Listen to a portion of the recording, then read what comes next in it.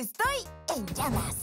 Digo, ardiendo en alpacas. Nuestra comunidad de fans no para de crecer y muero por saber más de ustedes. Pero si de identidades misteriosas se trata, hoy vamos a hablar sobre el recontra famoso José Miguel Carrera. Pónganse casco porque se viene una historia de alto impacto.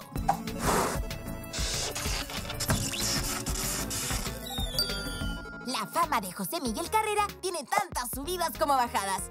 Igual que el humor de la Susi. Abrazo, amiga. Dark. Durante este super escáner biográfico, les voy a pedir que reaccionen con mi nuevo filtro de alpacas amorosas orgullosas. ¿Qué opinan ustedes del JM? ¿Lo odiamos o lo amamos? José Miguel Carrera nació el 16 de octubre de 1786. Su familia tenía plata e influencia y tuvo tres hermanos, bien hermanables. Como todo chico aristócrata, tuvo una educación tradicional. ¿Tú serás sacerdote o abogado? ¿Y por qué solo dos opciones? Puso rebelde y a los 20 ya tenía temas con la justicia. A ver, mijito, usted se va a ir a viajar mejor. Le tiraron el manso salvavidas. Así cualquiera se vuelve un rockstar, ¿o no? ¿Qué dicen? ¿Amamos o odiamos? Yo le doy una alpaca rabiosa. El JM se fue a Perú y después a España, obligado por sus papis a dárselas de comerciante. Estaba más aburrido que... ¡Se acerca Napoleón! ¡Invadirán España! ¡No me lo pierdo! Peleó en más de 13 batallas contra la invasión francesa, pero lo hirieron en la pierna y ¡pum! Tiempo fuera. Pobrecito. ¿Odiamos o amamos? Yo le doy una alpaca amorosa. Después de mucha paciencia, JM volvió a las pistas, pero... ¿Supieron lo que está pasando en Chile por el secuestro del rey? ¿Una junta de gobierno?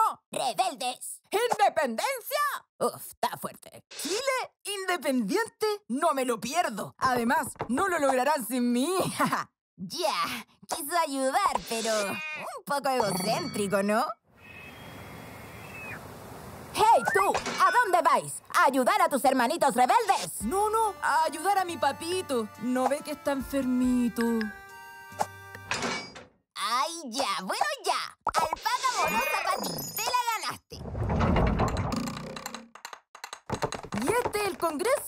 Está lleno de moderados fans de la colonia, po. Con estos planes insípidos nunca tendremos la independencia. Hermanos, es 4 de septiembre de 1811. ¡Hora de la revolución! ¡Wow! ¿Un golpe de Estado? Fuerte lo tuyo, JM. ¿Amamos? ¿Odiamos?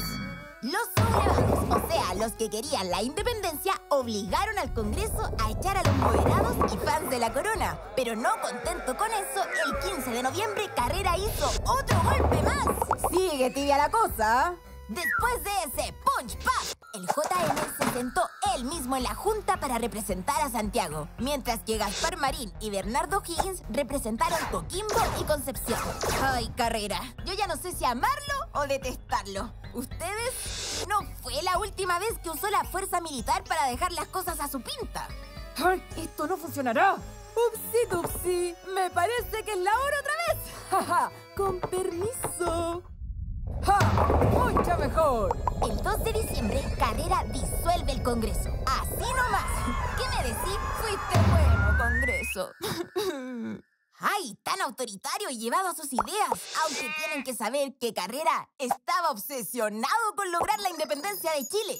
¿Sabían que en su texto constitucional provisorio fue la primera vez que se habló de Chile como país soberano? Sí, José Miguel Carrera fue quien compró la primera imprenta y fundó el primer periódico, La Aurora de Chile. Además, encargó los primeros símbolos nacionales, masificó las vacunas, nos contactó con otros países, le puso fichas a los paseos públicos para caminar y disfrutar. Y, mi favorita, mejoró la educación, incluyendo a las mujeres. ¡Por primera vez! Que ayudó a la independencia, pero lo hizo usando la fuerza. Y como se peleó hasta con sus aliados patriotas, despertó las sospechas de la corona española. Pucha, era tan yo-yo que al final se hizo el manso autogol. Fuerte, ¿o no? ¡Qué montaña rusa este José Miguel Carrera! Yo no sé cómo rankearlo, pero si quieres saber cómo sigue la historia y cómo fue su fin... Sigue mirando mi canal, La Historia de Chile según Bernie.